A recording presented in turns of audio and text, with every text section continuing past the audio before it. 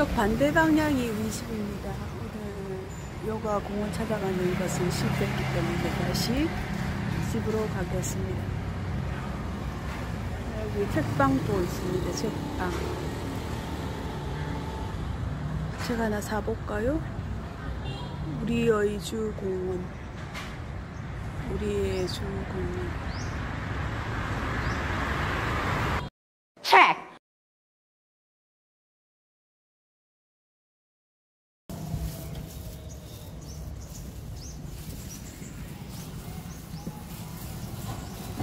아침에 세수도 안 하고 요가하러 갔다가 길이 엇갈려서 그냥 옵니다. 할 수 없지만 그래도 아침 산책한 걸 만족하겠습니다.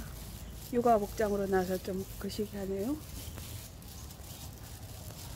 서점에 들러서 책도 두 권 사고 마리체 색칠 공부 어머니 선물 단권 샀습니다.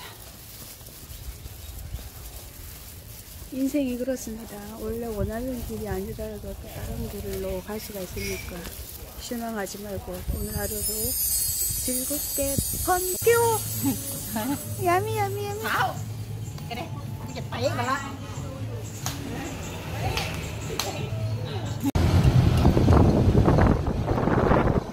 지금 숨은 언덕으로 가고 있습니다. 수문동, 수문동.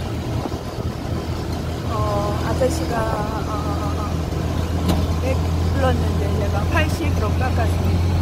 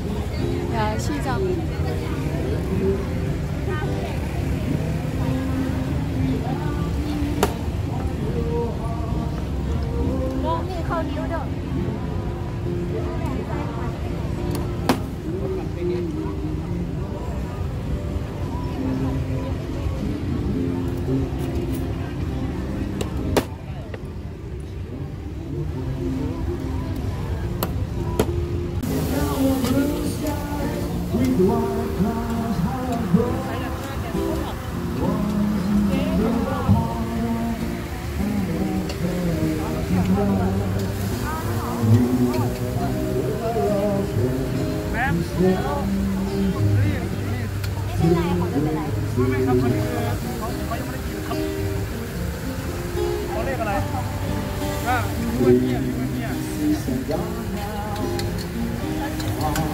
the sun Gone from the valleys where rivers used to run.